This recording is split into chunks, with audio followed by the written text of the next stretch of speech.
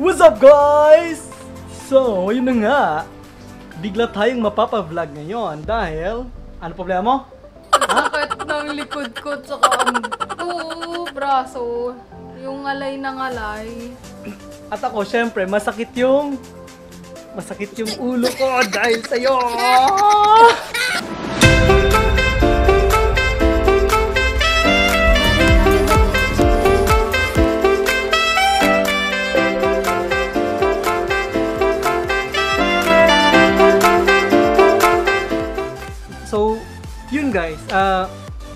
one time kasi na dumaan kami dyan sa kanto, may Ang nagbigay kanto. sa amin ng, basta dun sa kanto, may nagbigay sa amin ng flyer, tapos kinausapan, ano daw, parang yung may bago dun na, ano, na massage.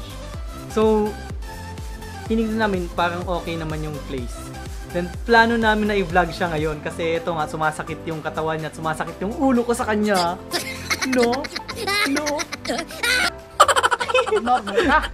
Tapos ano, yun, ah, hindi ko lang alam kung pwede mag-vlog doon, pero tatry natin na pakiusapan yung, ano, yung, hindi ko alam kung yung nakausap ko kanina kung owner ba yun or ano eh, staff lang eh. Pero sana pumayag. Oy na. Mamaya Mabilis na ito. lang. And, wait, sana pala ma-attract sila sa bago naming jelly case ng camera. Kasi yung camera namin, may nakita ko sa Lazada na ano eh, jelly case. So yung camera namin, ano siya, may cover na siyang kul- kulay yellow na jelly case.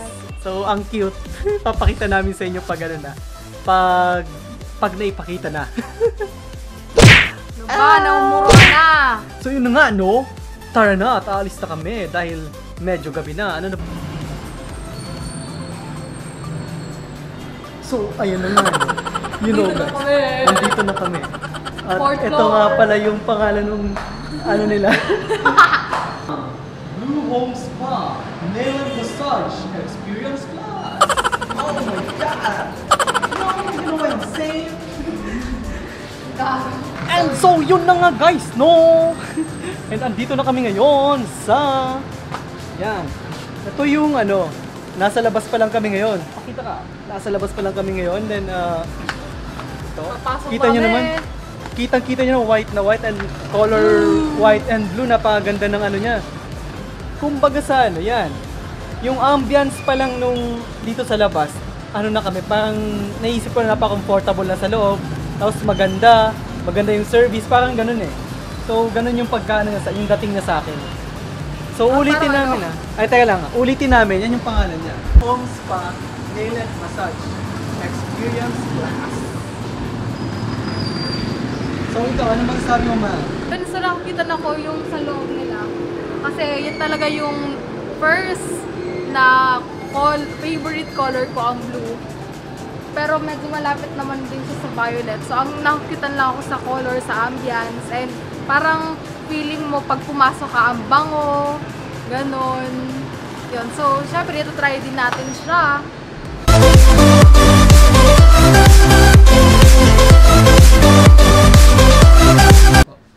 Everyone, I'm Charles Ramos. Uh, I'm inviting you to visit our spa, Blue Home Spa, here in Juan Sudatan Tower, Barang Barangka, Mandaluyong City. Uh, come enjoy uh, our nail services and massage services. Uh, the best in Mandaluyong. Thank you. Best seller po namin is yung aromatherapy. Yung aromatherapy, parang nakalagay siya dito, may candle siya.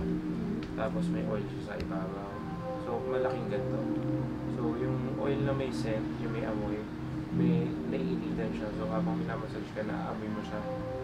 Then, then yung mismong mainit na oil na yan, yun yung pang mamassage siya. So, yung focus niya is yung mga lamig. Tapos, yung Swedish naman, yun yung walang, walang ganito. Parang Normal oil lang. Tapos yung shiatsu, dry massage siya masyadong may towel ka lang sa likod tapos puro press. Si Thai, puro pan-stretching siya. Puro stretching. Meron ba sir ng combination massage? Ah, pwede pong Swedish na may shiatsu. Pero po, ano po yun? 350. Kasama na yun dun kung sakali yung 350 yung kukunin namin. Kasama na siya doon. Ah, Pwede ganun. ano po, paano sir? Kung halimbawa, di ba itong 350 yung kukunin namin Aromatherapy.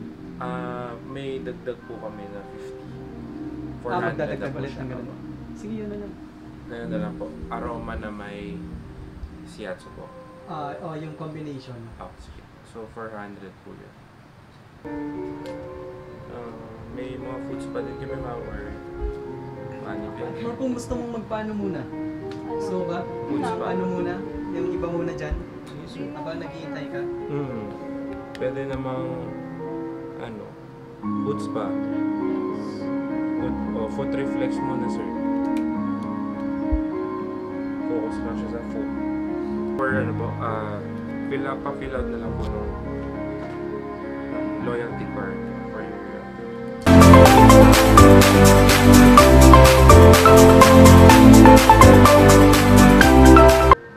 Tapos, explain ko lang ma'am. Ah, pag naka 5 service, naka 5 signature ka na, may may less 50 pesos ka sa copy bean box. Tapos, a partner kami. Tapos pag naka 10 10 boxes ka na, you have free to 50 any services. In case na kunyari 400 siya, mag-add ka na lang dun sa 250. So, so for today, magpapa-food reflex ka tsaka magpapa-massage, you have two signatures.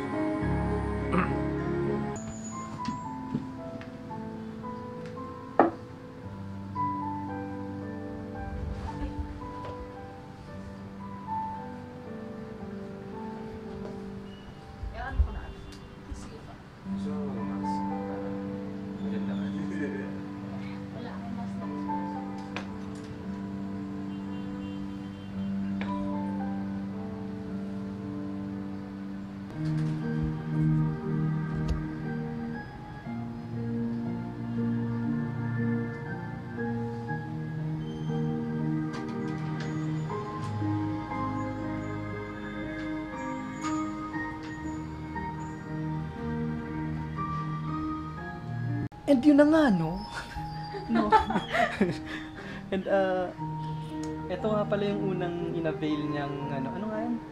Food reflex. Foot reflex yan. So, yan, para siyang, ano, foot spa.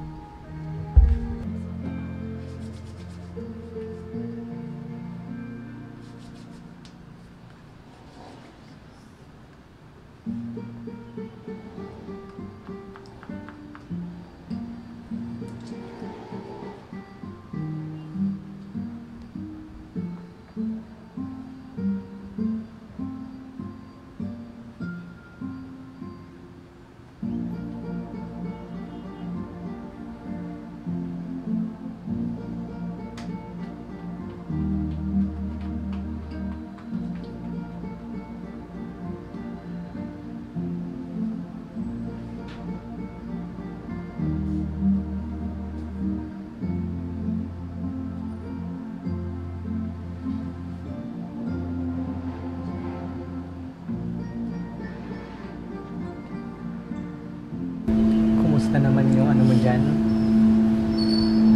Yung feeling na nagpapa-foot reflex? Ela,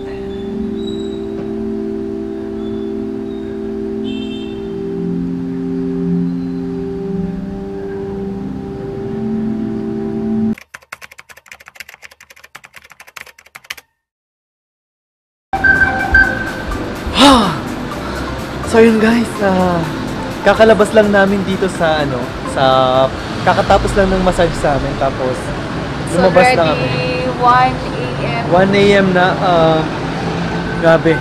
Ah, sobrang nakaka-relax. Ah, napakaganda nung pag-massage nila. Um, nakatulog na ako nung sa isang part ng pag-massage kasi na-relax na talaga ako ng gusto. Ah, napakaganda guys. Ah, sulit na sulit siya, sulit na sulit. Hin- yung ano din, yung ambience nung place, yung yung room temperature, napakaganda. Kasi yung sa, na, di ba nagpapamassage naman tayo sa ibang ano, sa ibang ganito. Then, ah, ang napansin ko lang, yung ibang massage kasi parang may aircon na nakatutok. Malamig. So, nilalamig ka talaga. So, para sa akin, hindi maganda yon. Dito guys, ah, napakaganda. Napakaganda ng room temperature. Walang nakatutok sa yung aircon. Yun. Sulit na sulit. Grabe, na-relax, na-relax talaga kami. Na-relax. And guys, um, Parang ito pa lang yung pangalawang beses na nakatulog ako. Yung first time na nagpamassage ako na yun, nakatulog ako. Yung mga sumunod na, hindi na talaga. Ito na lang yung second na nakatulog talaga. Sobrang nakaka-relax. Walang ang- ano. Oh, yun. So, Sa ah, joke time. napakaganda guys. And, ah, ano nga pala, ah, parang, ito, ulitin namin, uulitin lang namin, ito yung ano, dito kami, andito kami ngayon. The Blue Home Spa Nail and Massage Experience Plus. Yan. And guys, huwag niyong kalimutan puntahan. Nasa Mandaluyong to. Ah, ipopost na lang namin yung eksaktong address niya kasi hindi ko kabisado. Pero ano, sana guys bisitahin nyo kasi kami super nag na-relax talaga kami, nag-enjoy.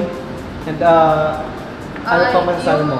Yung mga staff, sobrang babait. Mm, napakabait ng mga staff. Yung, lalo na yung may-ari. As Yes. in talagang ano, um, Parang- accommodating. Oh, parang alagang-alaga talaga kami nung pumasok.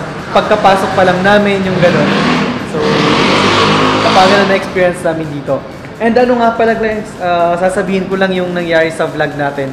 May mga ilang parts pala dito na ano na medyo hindi maganda yung quality ng voice. Mahina yung voice kumbaga. Kasi nakalimutan kong i-adjust pala yung volume ng mic. so nabawasan ko yung last time na gumawa ko ng vlog. So hopefully maganda naman yung quality niya, hindi naman masyadong makaka-apekto sa vlog. So yun. Kailangan lang, disclaimer lang.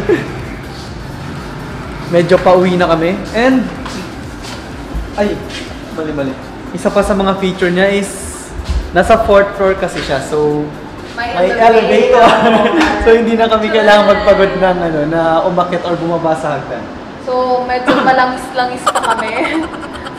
At namulog ko ang aming mga mata dahil nga nakatulog kami. So, ayun lang guys. Bye!